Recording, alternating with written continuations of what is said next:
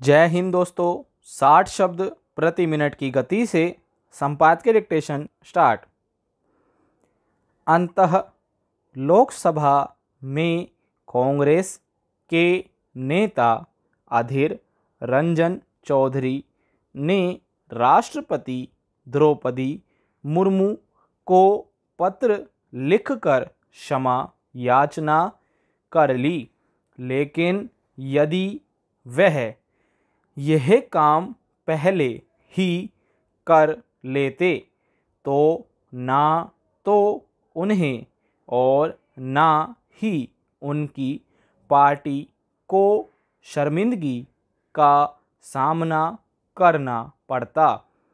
यह मानने के अच्छे भले कारण हैं कि उन्होंने मजबूरी में माफ़ी मांगी, क्योंकि पहले उन्होंने यह स्पष्टीकरण दिया कि उनकी ज़ुबान फिसल गई थी। फिर यह कहने लगे कि बांग्ला भाषी होने के नाते उन्हें हिंदी का सही ज्ञान नहीं है। यह इसलिए गले नहीं उतरा, क्योंकि बांग्ला में भी राष्ट्रपति को राष्ट्रपत्नी नहीं कहा जाता। इसके अतिरिक्त लंबे समय से सांसद होने के नाते उन्हें यह सामान्य सी जानकारी होनी चाहिए थी। कि जब प्रतिभा पाटिल पहली महिला राष्ट्रपति बनी थी, तब किसी ने उस तरह की कोई टिप्पणी नहीं की थी, जैसी उन्होंने की। उन्हें यह भी स्मरण होना चाहिए था कि जब नजमा हैप्तुल्ला राज्यसभा की उपसभापति थी। तब भी ऐसा कोई सवाल नहीं उठा था कि उन्हें किस रूप में संबोधित किया जाना चाहिए।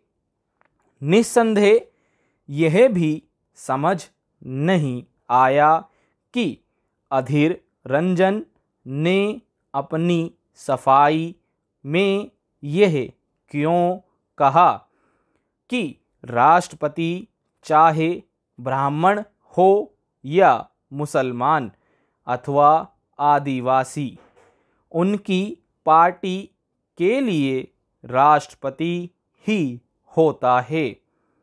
पैरा, फ़िलहाल यह कहना कठिन है कि अधीर रंजन के माफ़ी मांग लेने के बाद इस प्रकरण का पटाक्षेप हो जाएगा या नहीं? क्योंकि राष्ट्रपति के संदर्भ में उनकी अभद्र टिप्पणी को लेकर संसद में सोनिया गांधी और स्मृति ईरानी के बीच जो तकरार हुई, वह भी एक मुद्दा बन गई है।